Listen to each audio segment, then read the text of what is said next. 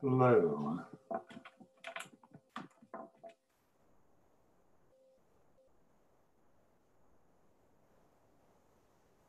Okay. you, James, go ahead. Uh, hi, everyone. Uh, this is uh, James Ostaszewski from the NYC Debt and Finance Working Group. Uh, we're just here to interview Michael Hudson. And we'll just go around uh, the room for intros first. So, uh, Alex? Yeah, hi, my name is Alex Kelly. I'm a friend of the uh, NYC DSA Debt and Finance Working Group. Uh, I worked in the New York State Senate on public banking uh, and as a journalist, where I've occasionally covered financial matters. Um, and I met our guest, Michael Hudson, here uh, a few years ago when we worked on a piece of journalism together. Michael, you want to introduce yourself? Well, the, there's so many different ways I'd introduce myself to different groups. Uh, I was the economic advisor to Dennis Kucinich.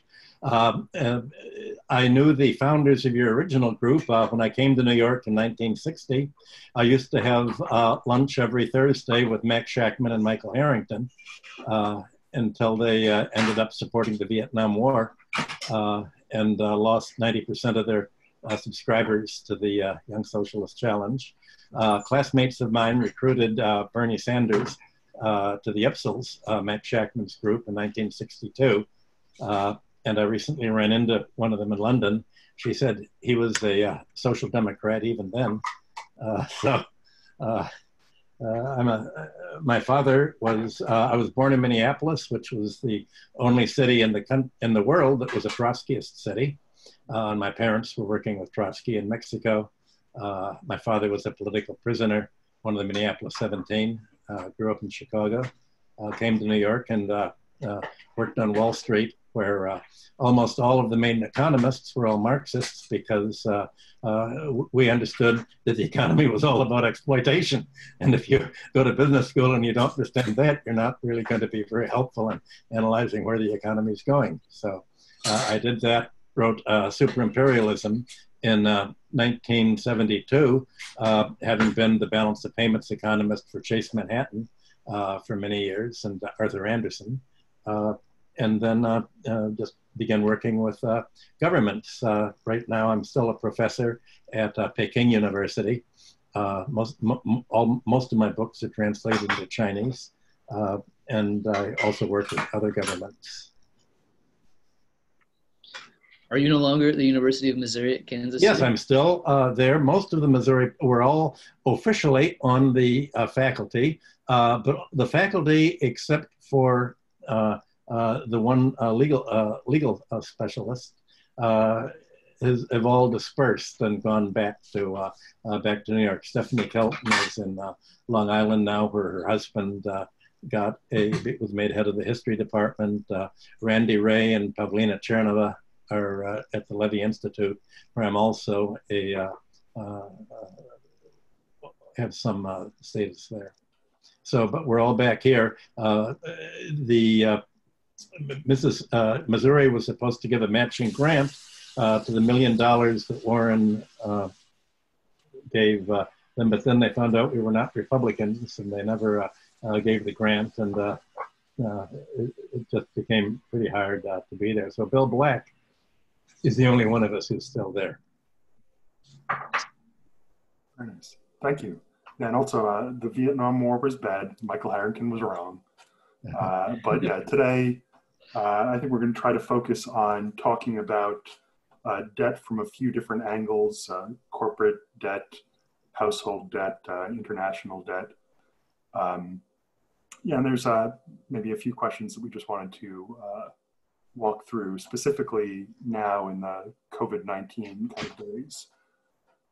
so, first, maybe just to kick things off, I wanted to know if you could talk a little bit about how the federal response to COVID 19, how it's uh, tended to benefit private banks and the FIRE sector more generally.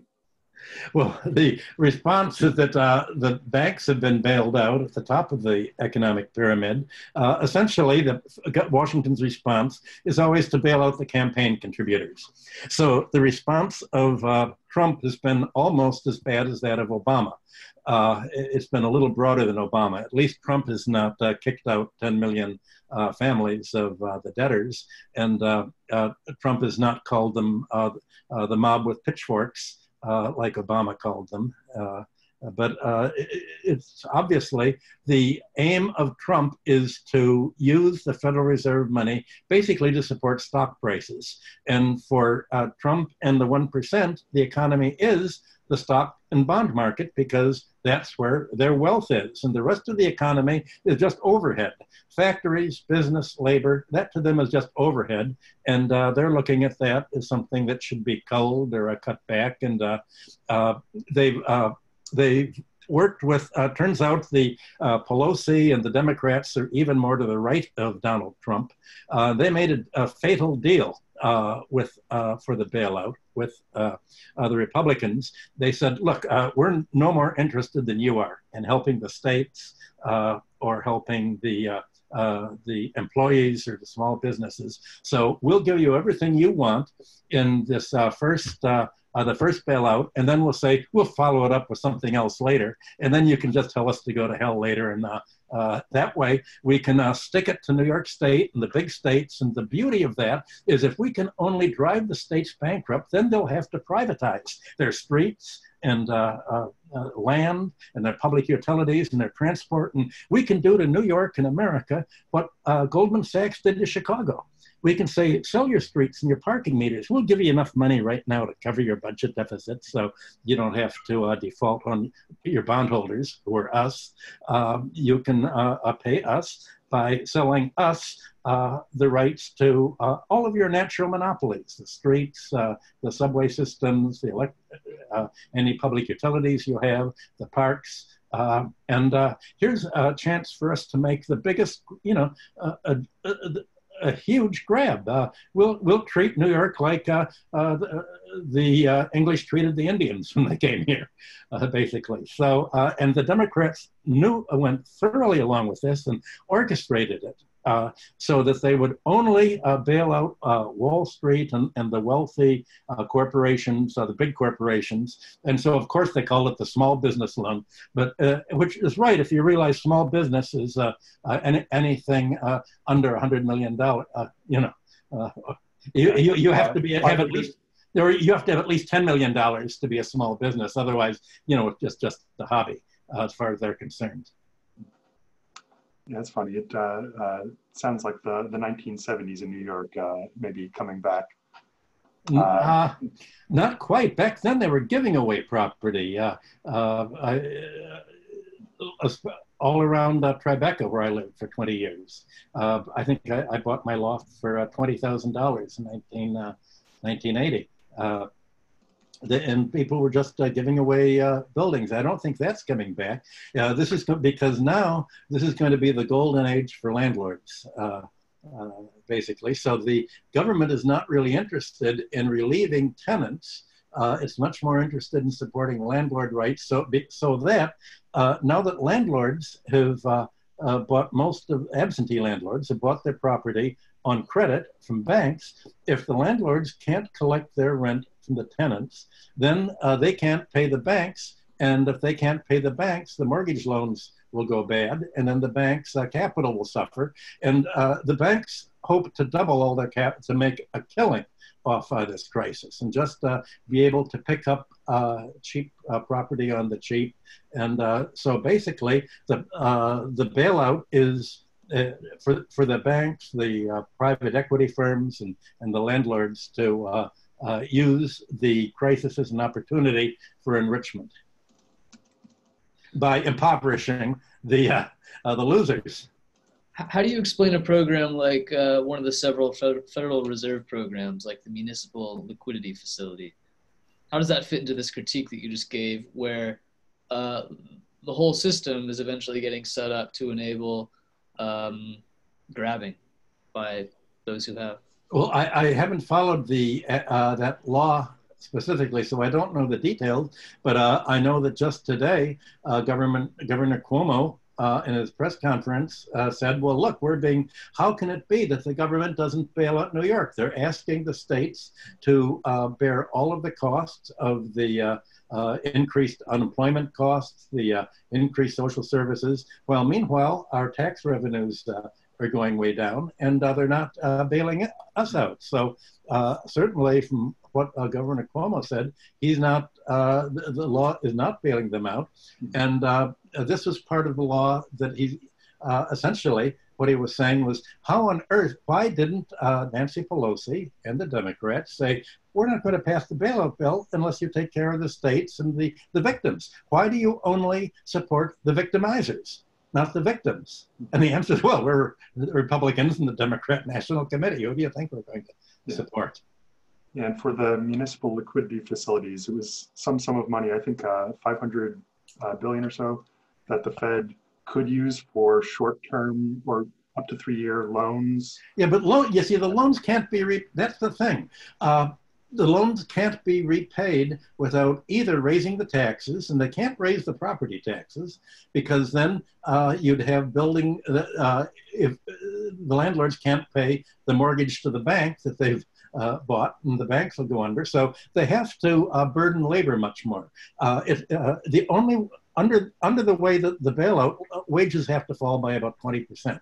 Uh, to be paid in taxes, to be paid to the richest 1% of the population. So it's a huge sucking up of income to the top by using the state and local crisis as uh, uh, the, the vehicle. And they're trying to blow the economy was moving in this direction anyway, uh, uh, since we never really recovered from the Obama bailout of uh, 2009. Uh, but the, the virus only acted, uh, epidemic, acted as a catalyst. Uh, and just sped things up. But it was going in this direction, and and all of a sudden it gives uh, the uh, the neoliberals and the right wing an excuse to say we're doing this because of the virus, not because we're greedy and we want to grab everything. It's not us, it's the virus. But it's not the virus, it's them.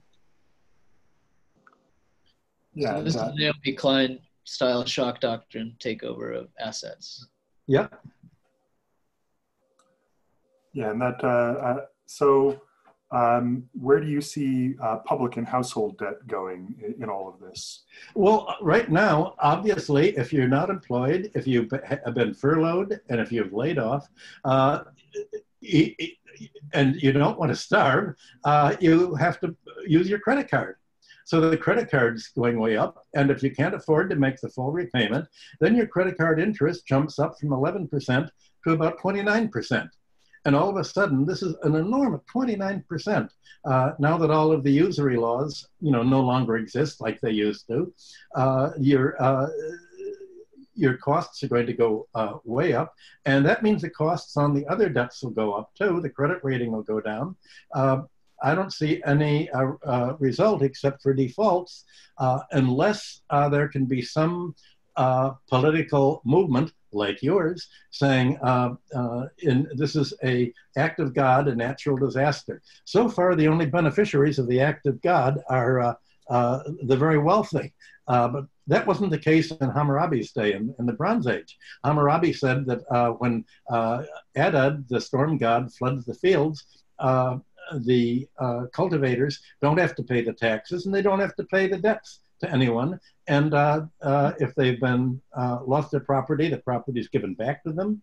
Uh, and if they have to give their labor uh, to a creditor, uh, they don't. That's all canceled. So you had more or less regular responses. The whole act of God actually originally was supposed to help the poor. Uh, and the widows and orphans were the poor people. Today, the widows and orphans are the rich people with trust funds uh, that we were not supposed to hurt their uh, ability to live off the uh, uh, tax exempt state and local debt that the bonds that they're holding. So you, you had uh, history turned sort of inside out by modern finance capital. Michael, before we started recording, you read to us a piece from uh, the New York Times. Do you have it in front of you? Yes. A bit about, would you read us that line again, please? Okay, this is uh, a, a lawyer uh, uh, who's working for uh, WeWork, uh, and there's an article in the front of the business section. And the lawyer uh, from uh, Walden, Macht, and Haran says uh, WeWork's customers can get out of their agreements under a provision of New York state law that says an event that is, quote, virtually cataclysmic, unquote, and, quote, wholly unforeseeable, or unforeseeable, unquote, renders the contract void.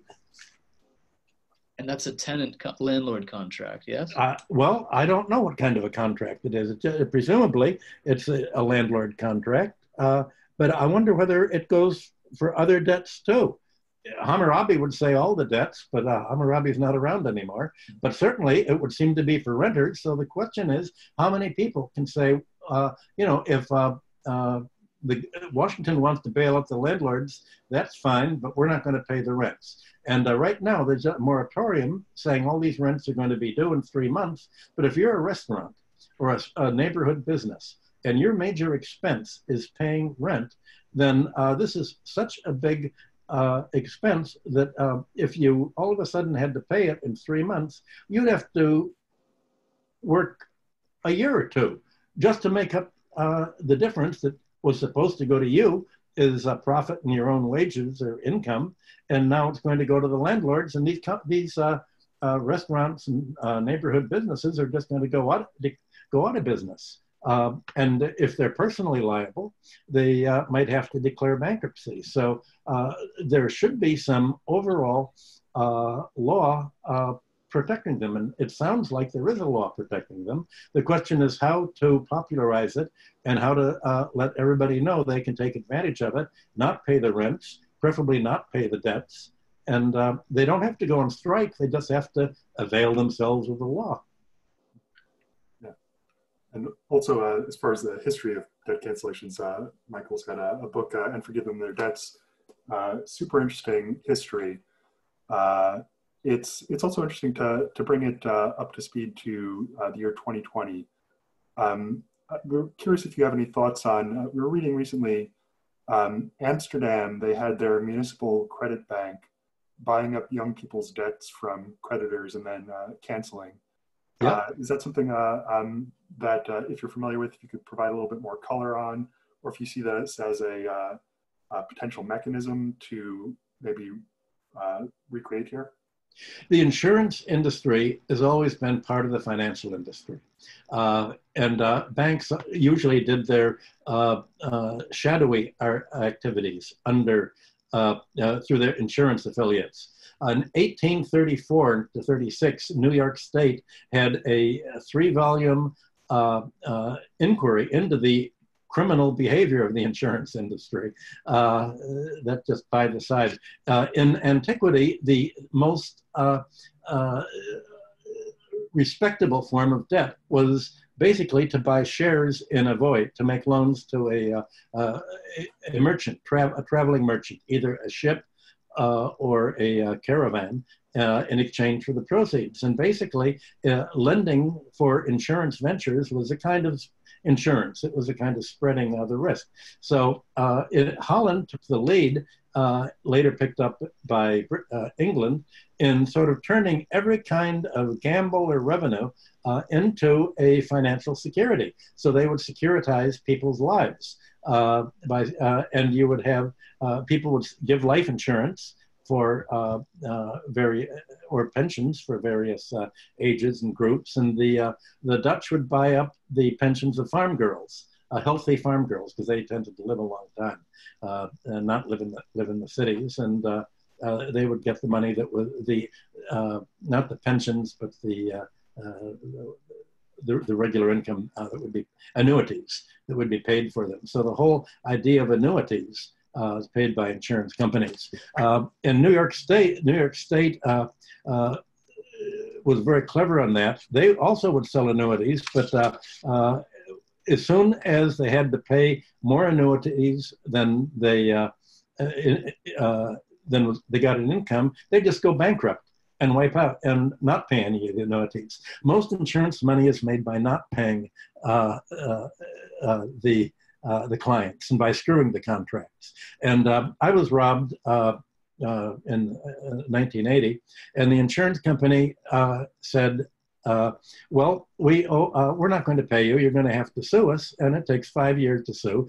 I had to spend sixty thousand dollars for the suit and they said, uh, the way the, the law is written, uh, if we, uh, as soon as you make a claim, uh, we can take your $200,000 claim and uh, we take it off our income ta tax as an expense immediately. Uh, and even though we don't have to pay you any money until you beat us in court. And by the time five years are up, we've been able to make on investment all the money that we would have paid you. So we get to, by stiffing you, we get to uh, all the money for free from the from the tax breaks. So the insurance companies are are even more corrupt than Wall Street, and almost always have been more uh, more corrupt. Uh, my insurance company, unfortunately, was Prudential. Uh, I had no I I didn't realize they were an English company and picked up uh, the usual English uh, stiff the client. And as it happened, my lawyer died. Um, just the day before we were supposed, all of a sudden, I got a attack and died uh, before. I had to give my case to Ramsey Clark uh, to, and then he forgot to put it. We had to take it off the calendar. He forgot to put it back on, and my claim was work, wiped out, and I had a claim against Ramsey Clark, which I've never collected on. So it, it's just my uh, uh, everybody I've spoken to has their own story of being screwed by the insurance uh, companies, uh, which are probably the most profitable part of banking because uh, of the way that they've gimmicked the tax law and uh, the, the, their ability to stiff the customers. And essentially, they, uh, they do what Donald Trump did the art of breaking the contract, of saying, hey, if you want what you signed for a contract, you have to sue me.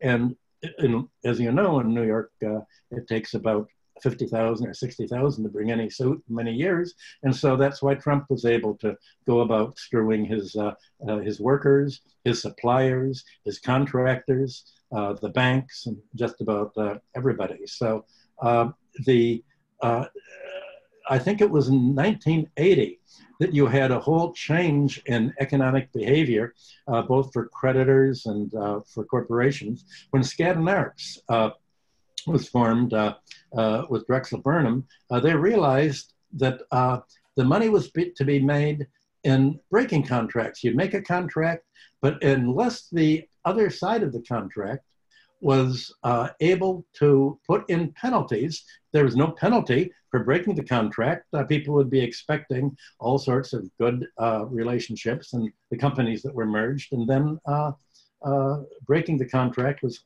was how to do it. Now we know. So most of the wealth since the 1980s in this country's been made by breaking contracts, especially breaking uh, for corporations that are rated, breaking contracts with uh, the workers for pensions by uh, uh either uh, just looting the pension funds or uh, saying, well, we're going to declare bankruptcy and wipe you out if you don't renegotiate your pensions from onto way down. And so you you'd think that for the first time, now that there is a coronavirus, that it should be possible for debtors to be able to get out of the contract because that's what the law, uh, the uh, acts of God are supposed to be for. Um, if God works for the people instead of just for the uh, uh for the banks and the creditors. Yeah, and uh, on the issue of uh, people sort of using the legal system and the sort of you know just sue me kind of tactic, do you see any possible potential of, you know, for instance, a, a debtors union getting together to try to, as a group, uh, renegotiate their debts, or possibly a group of states or municipalities getting together to renegotiate debts with creditors? It, it's hard to renegotiate without uh, doing it within the law. Uh, you would have to have a critical mass uh, in order uh, to avoid uh, the IRS coming down on you or the, uh, the courts coming down on you and uh, moving things. Certainly, you could be able to contest and stall, but the question is the, the corporations already have full-time lawyers uh, working for them. The banks have full-time uh, lawyers working for them. I, I, would want to see, because of the virus epidemic and the shutdown, it may not be, it may give uh, debtors a particular advantage, advantage right now that they wouldn't normally have. Uh, otherwise, if you don't pay your debts, your, you, your credit rating goes down, you can't get a mortgage, and there can be all sorts of civil disobedience laws. So uh, it, it, it almost has to be handled uh, on uh, a political uh, plane and uh, uh, through politics, through a legal plane, to avoid act, making victims out of yourself. Yeah, and also maybe to rewind a little bit to the state and local government angle uh, as you said before, there's less revenue coming in, and this is going to be uh, an ongoing. Uh, there's going to be a lot of austerity fights coming up. Doesn't have to be. Uh, the uh, I think the states municipalities should say either we're going to serve our citizens or the bondholders. We're not going to pay the bondholders. We're not going to default. We're going to say, act of God, we can't pay you. Uh, you want to sue us? Sue us. and get together with as many municipalities as you can. And uh, I'll just say, uh, uh, we're not going to uh, end up looking like Greece uh, or uh, Argentina and impose poverty on our citizens simply to pay the bondholders. That's not, you know, that that's the road to neo-feudalism. That's the road to serfdom. We're not going to do it and just say somebody has to lose. And should it be people at the bottom of the uh, economic scale, or should it be people at the top of the economic scale? And just on that, are there any uh, maybe examples of, uh, for instance, uh, Mexico, Argentina, Russia, historical examples of uh, governments uh, just defaulting and winding up better for it as opposed to worse for it?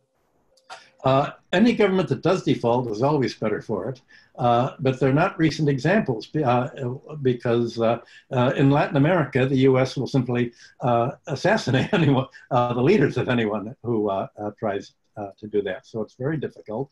Even Greece never defaulted. It should have, the head of Syriza upset all of us who were over there in Greece working with him when they agreed to pay the, the debts instead of just uh, refusing. So uh, in modern times, I can't think of any uh, uh organized refusal. So you really have to carve new territory out. I mean, in Rome in uh, 490 BC, the Romans uh, just said, well, if you have to pay the debt, we're going to walk out of the city.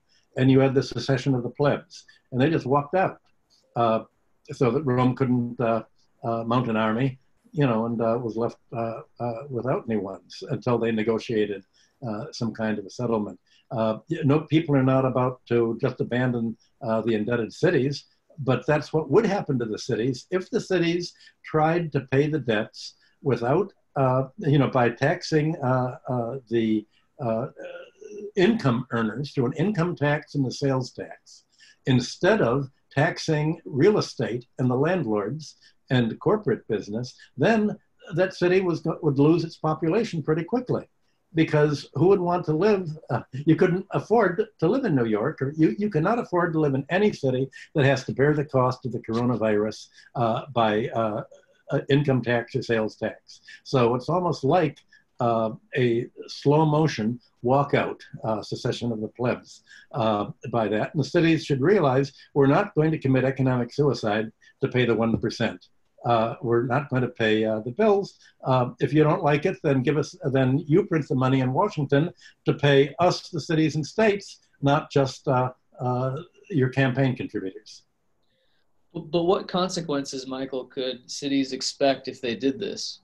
Uh, what disadvantage might they suffer? Because this is what politicians are going to be worried about, and it's the reason, it's the excuse that they're going to give for not doing what you prescribe they'd make New York the nice, and any city doing that would be the nicest place to live because it would be like the German economic miracle when its debts were canceled uh, in 1948. Uh, a debt free city will be much better than a city that doesn't have to pay debts. Uh, and uh, you can be pretty sure that the landlords and the bondholders uh, would go to Washington, and Washington would just print the money out to give them. So, so uh, everybody will end up much better off when the debts are not paid. Um, isn't, I mean, cities exist in the complexity of, a, of an economy that is integrated regionally, nationally, internationally. Um, so I think what most people think is that there are going to be consequences. Uh, people are going to people who have money, uh, who are the source of private investment, um, which uh, you know we don't have public investment right now. So uh, cities, you know, cities fell all over themselves in, in competing to to get Amazon to come, right? And yep. so, if I understand you correctly, yeah, you're, look, you're, Amazon, talking, Amazon, you're talking about saying we're not going to play by those rules anymore we're going to take care of ourselves. Yeah. Um, but then private capital can react and respond. And I think it's out of the fear and, and ignorance of, of what they'll do, which could hurt the cities and what cities can do to protect themselves, that you have a lot of politicians, local and state elected officials saying, no, uh, uh, I'm, I'm going to follow Alexis Tsipras. We're going to we're just going to put our heads down and keep playing the game. Well, cities don't never have to give special tax breaks to uh, companies like Amazon. And look at how much better New York is for not having Amazon move in. Remember, uh, uh AOC was opposing uh, Amazon, and now you have uh, someone running against her saying, oh, gee, look, uh, we're all broke because Amazon didn't move in, but we're not broke. Other companies all moved in. They say, hey, if Amazon wants to move there, it turns out Long Island City is a great place. They all moved into Long Island City, and you didn't need Amazon. You had all these other companies that actually pay taxes. So New York's uh, done uh, much better by not kowtowing uh, uh for the big uh, firms and, and their lo lobbyists. there are many more taxpayers than there are bondholders, so the taxpayers can vote in whatever politicians they want. but they can't bribe the politicians like the uh, uh, the uh, bondholders of the financial sector tends to do. So they have to somehow organize a way to uh, bypass the bribed uh, politicians or the uh, the creatures of Wall Street.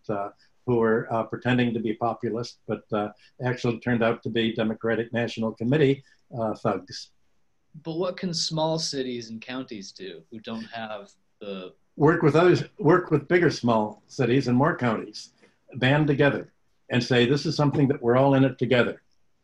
Uh, you know, so that maybe uh, an, a small upstate New York uh, county that's already pretty broke can't do very much. But if the works with a whole other uh, bunch of other com- counties uh, uh, and tries to mobilize a large statewide group, then they can they can get together and just say we're not going to turn over the revenue to the state or to the government uh, we're, we're, not, we're not going to do it. And what is going, what will the government do? The most uh, voters would be very sympathetic with such a such a move. Yeah, and maybe that also uh, brings us back. Uh, you were talking a little bit uh, earlier about uh, what's similar or not similar to New York in the 1970s, um, where uh, and you also mentioned uh, uh, Greece. Puerto Rico is maybe another example. Puerto Rico, right. Yeah. but yeah, I'm just curious if you could um, maybe say a little bit more about what makes this time different and maybe if there are any other historical positive examples of uh, how to better deal with uh, the needs of uh, politicians making arguments that we need access to the capital markets. We need to do bend over backwards to get uh, uh, private investments. Well, when I first came to New York in 1960, uh, the rent that I was paying was $35 a month. Uh, on Sullivan Street, uh, right near uh, NYU. Now it would be $3,500 a month. It's gone up 100 times. So the big difference, and even since 1980, the rents were very low. There were a lot of rents of $100 a month uh, on the Lower East Side where I was living. Uh, and buildings, you know, were, were uh, very inexpensive. There's been an enormous increase in wealth. This, uh, and all this is increased by the land value, which is a result, uh, the landlord didn't create this land value. uh, the uh, land values increased by the city's prosperity and by the uh, public services and by the transportation. So uh, New York should have actually uh, raised, there was no need at all for uh, a sales tax or even a New York state income tax. It could have tra- taxed property. If it would have taxed housing and real estate, that would have held down the real estate. Then it wouldn't cost uh, $4,500 a month as an average rent in Manhattan. It wouldn't cost a million dollars uh, to buy an apartment. It would be, all of that would be affordable. So the first thing to do, uh, and this is of course what Henry George wanted to do in New York back in 1875 when he ran for mayor. Uh, and uh, uh, the vote was uh, fixed against him, but uh, George said wanted to uh, make a land tax uh, the whole basis of uh, fiscal revenue. And that was a, a, wonderful idea at that time, and it's still a wonderful idea again. Uh, and uh, N- New York can simply uh, finance the deficit through a real estate tax. The good part of that is it'll drive most of the uh, buildings bankrupt because the landlords have, eh, don't even use their own money to buy their buildings. It's all borrowed money. So it'll force, uh, it, the, the, the burden will be uh, on the banks, and it's been the banks and the real estate sector that have made all of the gains since 19, uh, 2009 uh, or 2008. Uh, since 2008 to today, all of the growth in GDP and national income has, has only accrued to 5% of the population. 95% of America's population has less GDP and less income than they had as a result of Obama's uh, uh, policy. So uh, you want to recap you want to recapture this artificial free lunch wealth. You want to get the free lunch back, and you want to get it by taxing uh, finance and real estate. And the good thing is, if, if one of the uh, worst banks, like Citibank, would go under, then you can make it into a public bank and I actually uh, use it for productive loans, not uh, predatory loans. And actually, maybe that's a transition right there. Um, so you work with the uh, Public Banking Institute? Uh, well, I'm uh, I'm a friend of Ellen Brown, and uh, I think that public banking is less corrosive than uh, private banking. Public a public bank wouldn't make corporate takeover loans. It wouldn't lend to corporate raiders. It, it wouldn't uh, make predatory uh, loans to uh, uh, payday uh, lenders. It, it, would itself extend loans to the people who need it at less than 100% a year you know, just normal rates. It would provide banking services locally. It would. Uh, uh, there's a need for public banking, and uh, I think banking originated uh, in ancient times in the public sector. Uh, and I think uh, the the privatization of money and credit has been a disaster for for most countries. Definitely. Michael, if James, did you want to follow up? Yeah, you go on. Yeah. Um, I want to uh, stay on this topic for a little while because um, I've read a few of your books um, and I'm reading in and forgive them their debts a second time right now um, because it's so full of information. Um, it seems like um, your uh, large thesis, your general thesis when, with respect to finance, borne out through your work as an economic historian, your work uh, with Chase Manhattan um, and uh, in other roles as, as an analyst. Um, your thesis is that finance doesn't do what most people uh, and what economic textbooks uh, say it does. It, it, doesn't. We. I remember taking a walk next to a in college with a friend who um, was saying, "Well, if you get rid of the banks, this was during 2008. This was during the the crisis. Uh, the banks are the source of our wealth. If you get rid of them, or if you take them over, then you inhibit society's ability to uh, create money to fuel industry. What you're saying is that that's a misunderstanding of what finance actually is. They say that that's what they do, but because it's privatized um, and a small community of people control it, uh, those people use it uh, to get industry and other parts of the population into debt and then pry their resources and wealth and land and assets from them. And that's what finance, that's the role of finance in our society. It's a predatory institution. uh, for private interests. Well, you right? said, a, yeah, a number of things uh, regarding uh, the 2008. Nobody was talking about destroying the banks. What Sheila Bair, the head of the Federal Deposit Insurance Corporation, said was, "We've got to take over Citibank. It's broke. It has zero net worth. Zero net worth. Uh, it's all. It was lend out uh, the loans it made. It lost for acting in a criminal way illegally breaking the law, and it made so many bad gambles. It was so badly managed, the bank, that uh, we can take it over and uh, we will not make the bad loans. We're not going to make uh, corporate takeover loans. We're not going to loan to crooks, and we're not going to falsify mortgage loans uh, like they did.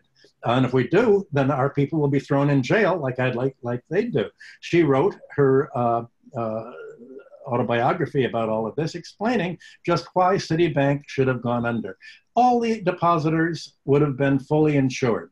No depositor would have lost uh, uh, their insured money. Some of the rich depositors would have because they put their money in what she called a crooked bank, an incompetent bank. Uh, but what you're raising is an even deeper issue. You're talking not only about crooked banks like uh, uh, Citibank or uh, Wells Fargo or uh, Bank of America, uh, but just the normal financial sector. In the textbooks, banks are supposed to make loans to industry, to build factories that are going to employ workers uh, and increase employment. But that, banks don't make any loans at all for to start up business. They, they don't make loans to start a business or to build a factory or to get a restaurant. They only make loans against collateral that is pledged uh, businesses already existing. They will make loans to a corporate raider to buy a business that's already created, but they won't make any loan to create the business to begin with. So their role is only predatory, concerned with the transfer of uh, uh, companies or the transfer of real estate or the transfer of wealth at a rising, rising prices because a house is worth however much a bank is going to lend. And as banks have loosened their mortgage standards, the whole increase in uh, housing prices is a result of banks lending more and more money, more and more recklessly, uh, so that more and more people's income has to go to pay the mortgage interest or the rents to cover the mortgage interest on, uh, uh on, on bank loans. And uh, uh, so the banks have become the, the they were long called a century ago the mother of trusts, but they're also linked to essentially predatory finance capital that works in a very different way from industrial capital. Uh, it works only in an extractive way uh, to uh, basically operate against the interest of its customers, not uh, in their favor. Uh, the, cu- uh, the customers have to end up paying because the banks are uh, basically work with the very largest, with the 1%, of the largest companies and the richest people, and uh, they help these uh, large companies, uh, corporate raiders, essentially work uh, in ways that uh, uh, they pay more stock dividends or stock buybacks uh, for by stiffing the pension funds or you know, working labor more intensively or cutting back employment or basically moving their employment abroad. It's basically the financial managers, Wall Street, that's decided let's uh, not produce in America. Let's uh, uh, produce in China and low wage countries, uh, and uh, that'll have the effect of pushing down wages here. So, uh, finance has become part of a class war against employees and against small business, and really against the middle class. When you say just become, um, there was a shift in the 20th century where, well, you, you studied finance going back thousands of years. So can you contextualize that? Because there's a initially a public, a sort of public purpose to finance, but there's this this push and pull, right? Where this gets used for public purpose and community purpose, and then seized by um, elites who possess wealth who get control, and then there's a pendulum in history. Well, almost all all great family fortunes have come from uh, seizing the public domain. Uh, in Roman times, uh, it was uh, grabbing uh, land, uh, grabbing public land for oneself, or it was just militarily ex- expropriating the landowners, or it was making a loan that couldn't be repaid and you foreclose and you get the land of other people. the Bible is all full of stories like that about expropriating uh, uh, tenants and grabbing, grabbing their land and depopulating the land. Uh, the original creditors were the palaces of Babylonian the Bronze Age. And for, for 2,000 years, uh, from Mesopotamia, Sumer and Babylonia, down through the first millennium, uh, the, main, the main creditors were the palaces and the temples. The temples were part of the palatial economy. Uh, but uh, from Greece and Rome didn't have uh, temples and palaces. So everything was sort of in the private sector, taken into a new context, and uh, banking became uh, very private uh, at that time. And it really uh, devel- developed in the 12th and 13th century in the West with the Knights Templar, when the, the biggest banks were the church the Knights Templars were a church uh, banking order to finance the Crusades and the Hospitallers uh, or another banking order. So uh, then gradually uh, there were wealthy families around the, the papacy uh, that ended up, the Italian bankers, that would basically make loans to kings and to national uh, national uh, loans in exchange for monopolies. And so, uh, from the Renaissance to the early Reformation, through about the 18th century, international lo uh, loans would be made in exchange for a private monopoly, such as the South Sea Company or uh, the, the, Bank of England. Uh, investors got together and lent uh, 12, uh, 1.2 million pounds to England and got uh, the Bank of England as a, as a, a monopoly. And you had in the United States in 1913, you had the Federal Reserve created well, until 1913, the, the government didn't really uh, need uh, private banks uh, uh to finance uh, its debts. In the Civil War, the government just printed the greenbacks. In 1913, and the, the, the, Treasury handled almost all of the uh, central, the financial planning of the United States. Uh, J.P. Morgan organized a group of people and said, we've got to get the government out of banking, we've got to privatize it, and uh, we've got to move it out of Washington into New York and Boston and Philadelphia. And so uh, he, he, the private banks organized the Federal Reserve to take uh, the planning power away from the Treasury and away from Washington. And the result uh, is that uh, after World War I, essentially, uh, America became a centrally planned economy, not by Washington or politicians, but by Wall Street. Uh, and we're right now, the economic planning uh, is done by the financial managers, by Wall Street, and they do it in the interest of, of uh, finance, insurance, and real estate working together is the fire sector, working together to extract money from the rest of the economy. And so banking uh, has ceased uh, to play a role of financing industry. It finances the deindustrialization not industrialization.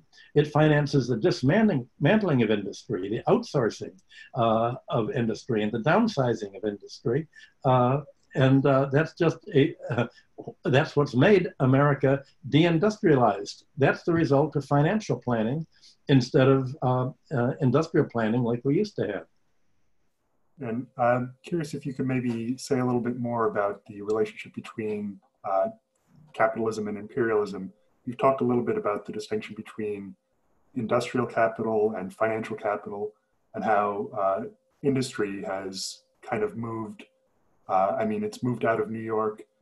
Uh, a lot of it's moved uh, uh, to other places all over the world. Uh, but could you maybe elaborate on that a little bit? Well, want, there's a great book of why New York was deindustrialized by Bob Fitch. the the, some, the dismantling of New, I'm blocking out the name, uh, the dismantling of New York, showing how the plan to get, when I came to New York, even in the 60s, the, uh, the Tribeca was a very low priced shopping area for electronics. There were shops all over. There were dairies, uh, dairy companies. There were nut companies. There were importers. It was all an industrial uh, district. Uh, but already in the 1920s, there was a central plan uh, drawn up for New York. And the plan was let's get rid of the industry, let's get rid of the workers, let's gentrify. uh, the uh, city. And basically, the plan for 100 years has been to, to gentrify New York and make money for real, use New York as a vehicle to make money for real estate developers uh, and landlords, uh, uh, not not for a, the kind of balanced industry uh, that it used to have uh, even uh, 60, year, 60 years ago when I moved here. And is this book The Assassination of New York? Yes, The Assassination of New York. It's a great book. And uh, it doesn't, uh, regarding imperialism, uh, there's really no, uh, imperialism is very different uh, uh, effects. Imperialism is simply a means of exploiting other countries and getting a free ride and making other countries pay for your military expenses surrounding them and forcing them to produce things for you and letting your investors buy control of their most profitable industry. So uh, you impoverish their, their population in order to enrich your ruling class with some of the money spilling over to the rest of the population. And also, uh, um, we've touched on this a little bit, uh, we, but we've talked about um, private household debt. We've talked about state debt, uh, a little bit about international debt, but we haven't talked as much about um, corporate debt and uh, whether we're living through what looks like a bubble uh, and what role the private banks might have created in uh, in that. So um, I wonder if you could say a little bit more about the current state of corporate debt. Well, there's supposed to be a law in the book um, and there used to be in um, colonial times in New York saying that if you make a loan to someone without any idea of how he is going to repay it, that law is null and void. Uh, for instance, a, a, lawyer told me, and I haven't been able to find the law, that uh, before the revolution, uh, British uh, speculators would come, they would make a loan to uh, a farmer, uh, especially in upstate New York, and then they would demand payment just before the uh, harvest was in, and the farmer couldn't pay until after the har harvest, and they'd foreclose on the land. So uh, apparently, there there was a law at that time saying if you make a, a, loan to someone without knowing how he can pay, the loan is null and void. Well, many corporations have been bought out by uh, uh private equity companies. The, the first thing they do is they borrow the money to buy the corporation. So all the money they borrow to buy a company will be added on to the uh, the corporate debt. That's what's uh, that uh, you've you've seen Sears, J.C. Penney the other day go bankrupt. Uh, all of these, uh, the major retailers in the United States have gone bankrupt because uh, uh absent uh, speculators have borrowed money from Wall Street, saying, "Give us enough money to buy Sears and J.C. Penney." They uh, they'll take over the company, and then they'll they'll say, "We're going to divide you in half." so now here's your real estate or like Macy's, uh, you'll uh, uh, give us the real estate. Maybe we'll give you a dollar for the store, but you'll have to pay, uh, and we'll maybe a hundred. Uh, they'll give more than that. But then we'll give you enough money right now that you can afford to do business while paying us enormous management fees and enormous all the interest on our debt, and then you'll pay you'll sign a lease and uh, you'll lease back you'll lease the store we'll lease the store to you uh, and uh, the they will own uh, uh, the store. Uh, the, the, the splitters will hold the real estate and use the store to drain all of the money within the, the company. the, the process was refined by the University of Chicago crooks in Chile and uh, they worked with Pinochet. Said, you know, here's a uh, first. First of all, we're going to uh, assassinate every labor leader, every uh, land developer. We're going to close every economic department in the country because you cannot have free enterprise if you're not willing to, to kill everybody who doesn't believe in your free enterprise. We're a free market, and free market means you can only have a free market with totalitarian control. So they, they put in uh, Chile, they, were, uh, they killed tens of thousands of uh, leaders, and the, uh, they turned uh, essentially companies over to what were called grupos. Uh, the wealthy Chileans, and they would buy uh, buy a company. Uh, they would make, make a very nice uh, pension promise to the workers. They'd buy the company, they'd split the company into a real estate company and uh, uh, a banking company. The bank would uh, uh, would become a holding company uh, that would hold the companies. They would then use the actual employing company, employer, to pay so many interest payments, rents, and management fees to uh, the owners that all of a sudden they, the pension funds would all be wiped out. And uh, the, the whole plan of corporate debt was to uh, uh, make uh, the uh, corporate debt owed to the parent uh, financial manager so that they could wipe out the pensions. And almost all of the profits made by many American companies have been the grabbing of the pensions that were supposed to be uh, accumulated on behalf of the, uh, uh, the employees. Uh, so that uh, the corporate debt is a means of uh, forcing, avoiding pension payments, and forcing down wages by saying there's no money to pay your wages because all the money that used to be paid for wages is now being paid for interest, rent, and management fees to the uh, corporate uh, uh, restructuring specialists. So money's made by financial engineering, not by industrial engineering. Yeah, and on the pension issue, there's another uh, great book, uh, Dismantling Solidarity by uh, Michael McCarthy, which is a -huh. very uh, interesting read. Um, so um, uh, you've mentioned that all of this corporate debt is sort of, it seems like it's designed to put a lot of the costs onto the pension funds. And, um, and to the and to the workers, and ultimately to uh, corporate uh, to uh, the cost to avoid paying taxes, uh, because uh, this should be uh, taxed as part of cash flow. debt payment should be an after-tax payment, but because it's it's pre-tax, if you can replace dividends by debt payments, then you stiff the tax collector, and by by business not paying debt because it has not paying uh, taxes but paying debt and the creditor now is uh, they have a special vehicle in the cayman islands or panama or you know an offshore banking center uh, that uh, there's no money to pay uh, liability to pay taxes and so the governments have to support themselves not by taxing corporate cash flow which they should but by uh, and not taxing real estate but by taxing labor uh, either through income tax or by the sales taxes that fall mainly on consumers. So yeah, and uh, is this sustainable, or what do you see as the the next steps? Uh, I know that uh, based on what you said, it's uh, uh, there will be some people who are looking to pass the the cost of this on to the pension funds, but um, as far as this corporate debt bubble, what do you see as happening next?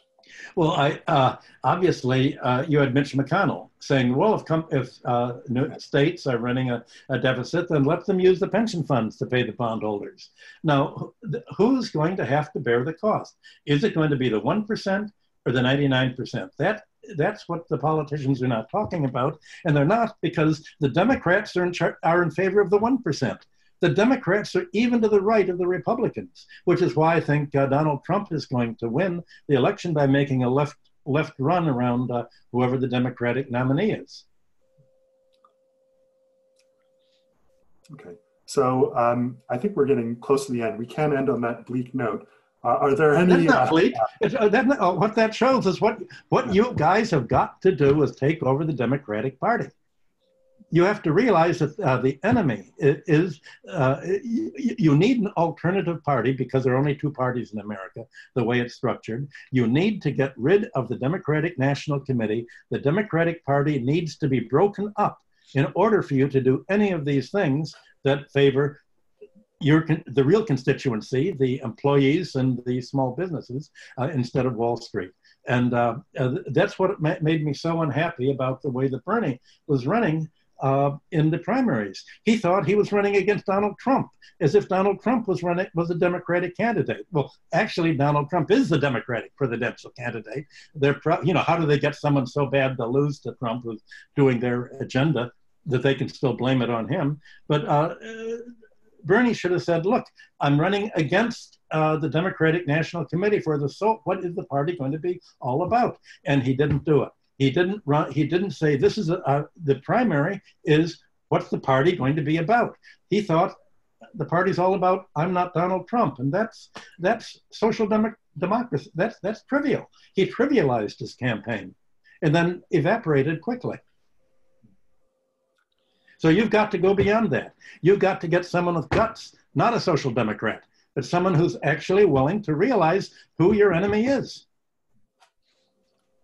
They they have to be able to tell, they have to know the truth, I think as you just said it, and they have to be able to to overcome media opposition, um, the opposition of all the, the, the propaganda and um, all the ways that the ruling class manipulates people.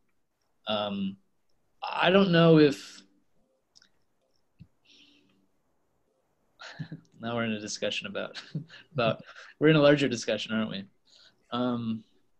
So we should, because ultimately, you, the question is, once we have these good economic ideas, how are you going to implement them? The block tier ideas and implementing uh, any kind of debt relief or rent relief is going to be the Democratic National Committee because they're on the chart. They're uh, representing Wall Street and the landlords against you.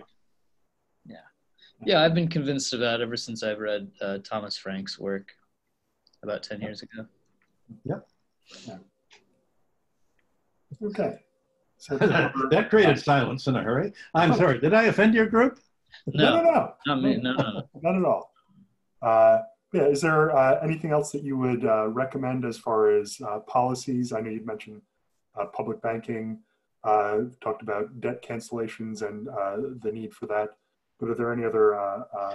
the tax policy, tax real estate, tax tax wealth. Uh, you can tax uh, the real estate tax is exactly uh, what will bring the whole system down. Do not increase the income tax on labor because you'll just drive labor out. Do not increase the sales tax except on luxury luxury taxes so uh, fiscal uh, tax policy turns out uh, to be the key and press for act of God, you know, whatever, if you can do the research on uh, uh, this interruption business is an excuse. Uh, see uh, how big an umbrella you can turn that into. Okay. So, Alex, anything else from you? Um, well, I guess just as a summation, what I'm thinking is that um, the the economy was rotten or rigged to begin with, and COVID is uh, a crisis from the outside, which is uh, revealed and exacerbated these uh, unjust relationships and uh, maldistribution of wealth and power. And um, um, the answer to so many questions that I ask uh, seems to be organized and band together, like Michael was saying earlier. Uh, maybe New York City can push some corporations around, but um, you know, Dutchess County would have to get together with Orange County and Brooklyn and yep. other others throughout the state and so I'm I um,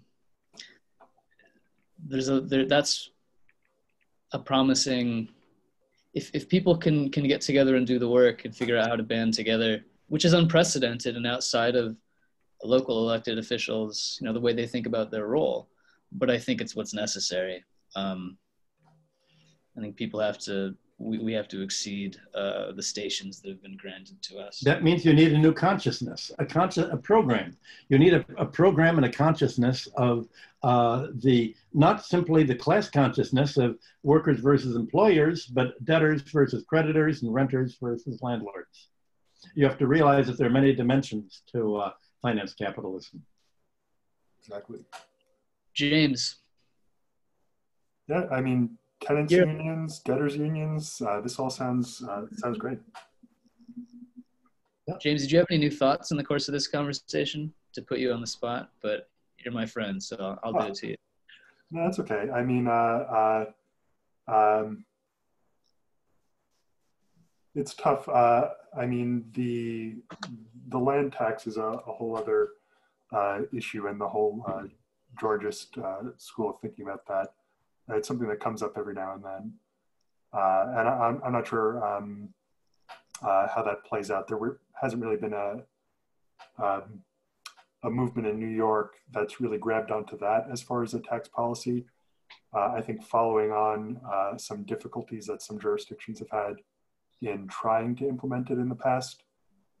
Uh, but uh, um, I don't know, it's, I, I, used to listen to Michael Hudson's podcast. So a lot of this stuff is, I mean, history keeps on repeating itself.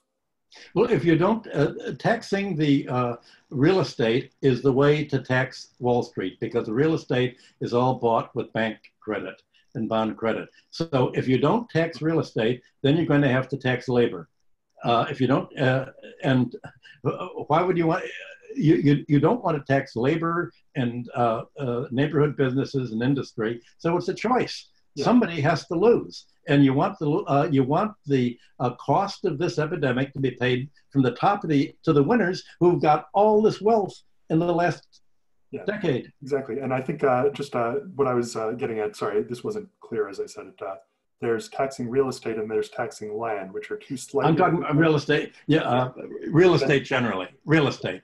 Yeah, I just said land, but it's, it's uh, uh, the, fact is that the, the Georgists are now on the right wing. they've fallen off the right wing of the political spectrum. So I'm not saying uh, work with work with them, uh, but I am saying uh, tax real estate, and then at a certain point, uh, you can favor. there's already favoring new new construction. So yes, you tax all of real estate because it's yeah. already there.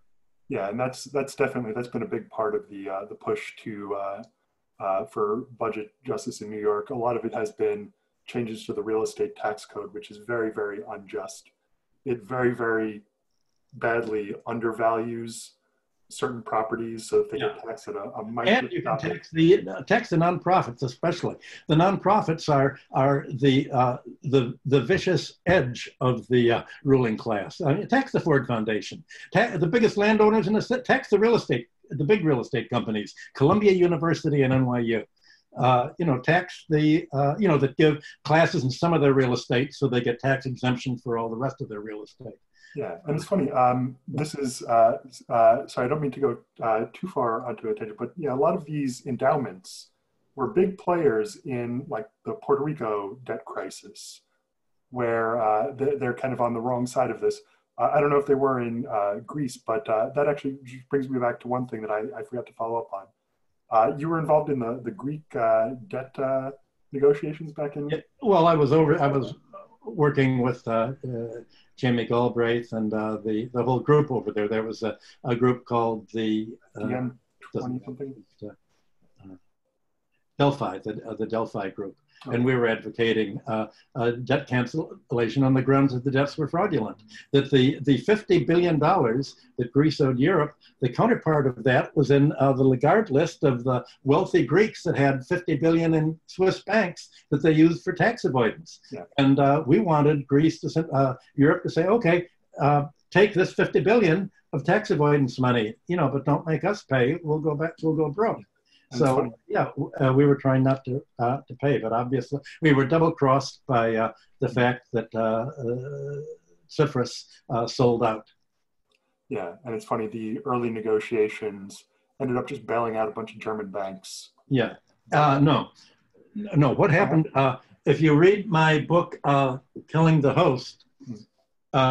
the people were bailed out were Citibank and the American banks uh, uh, Tim Geithner went over there, and uh, Obama talked with Merkel and said the American banks had written derivatives, credit guarantees against default.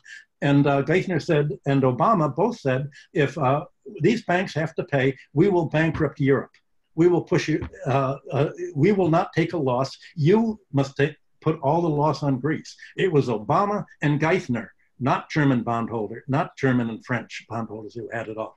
If they stood up, they said, uh, uh, they said, look, we've got the class war is on, and here's how we can crush any uh, uh, attempt by the Greeks to uh, put put labor's voice first. Uh, this was the the, mo the most criminal, vicious, vile act of the Obama administration, and and uh, the fact that you could just have in your damn Democratic Party a campaign that looks up to Obama, that thinks this is a success story. If you don't realize that the Obama administration was the depth of the Democratic Party, and that that was uh, that nothing you do can be at all helpful until you get rid of uh, the whole o Obama and Clinton gang, then uh, you're not going to be successful in doing anything. Okay, yeah, that's interesting. I I, I remember I read that uh, Yanis Varoufakis book, uh, Adults in the Room. Uh, I thought it was the the Germans who were the German banking groups that were kind of uh, they were the bondholders. They were quite correctly the bondholders, but they had all bought uh, credit insurance from the uh, American banks, and so they wouldn't have lost a penny. If, if the, the default, uh, uh, they would have simply turned to the Ameri- to Obama's backers, the banks that funded him, uh, for to be made whole. So the, the, German and French banks did all the debt, but the Americans insured it all. That was the that was the important key that people don't talk about. I mean, they don't talk about any of the really uh, awful things that Obama did, the, the hateful things that his admi uh, administration did. Yeah, and they really, I mean, doubled down on it with uh, putting Joe Biden, uh, uh putting him out front. Uh, but also on the Obama front, there was also that PROMESA, the Puerto Rico bankruptcy law. Yes. where you've got a board of people who are uh, at least at first, I think, not from Puerto Rico, uh, from a bunch of, uh, uh, at least a few were from uh, banks in the States or had ties to people who had originated the debt. Yep. sort of steering the ship. So maybe yep. I don't know if you could say say a little bit more about the Obama administration's role in the Puerto Rico debt situation and what we might be able to do. He's always stood up for the creditors against the debtors, and it doesn't matter whether the uh, uh, the debts uh, are uh, what used to be called odious debts, meaning debts that were uh, taken on behalf of the people that did not benefit the people at all. Uh, Puerto Rico would have a legal case in international court to say this is an odious debt. It was loaded onto it. We cannot pay. and we cannot sac- do. It's wrong to sacrifice us or Haiti for that matter, or other countries in that position, uh, just to pay bondholders that have been able to uh, create the money simply on an electronic keyboard uh, to lend to us. This is a this is a crazy system, and uh, there has to. Uh, I mean, right now, I think there are a group of third world countries that are planning uh, to uh, get together to uh, insist that they can't pay the debts as a result of the coronavirus credit. And uh, I mean, that may be one of the first groups of people to uh, uh, repudiate uh, the, the dollar debt that they have. we're talking about redenominating the debt in their own currency, dual exchange rates, the whole panoply. Okay. Uh, I like that idea. Uh, and Alex, anything else? Um, just that, uh, you know, I think if we're going to um, prevail in our struggle, uh, it's going to be because um, enough people learned what was going on, you know, um, and that we developed the confidence in, in each other and in ourselves to to act. And so uh, I want to thank Michael for joining us, uh, helping to uh, share his insights among our 500 email list members and anyone else who gets this video um, and that I hope we have opportunities to do this uh, with larger and larger audiences. Yeah, we need a political education uh, project about the economics of uh, the politics. Yeah, definitely. And we'll, uh, we'll keep you in the loop about uh, what we're doing going forward. We're uh, planning a few for maybe July and going forward. But thank you again so much for your time, Michael. Thank you. Good to be here. Talk to you again, Michael. Thanks, James. Thanks for organizing this, James. All right, thank you. And so, uh, how do we get a, a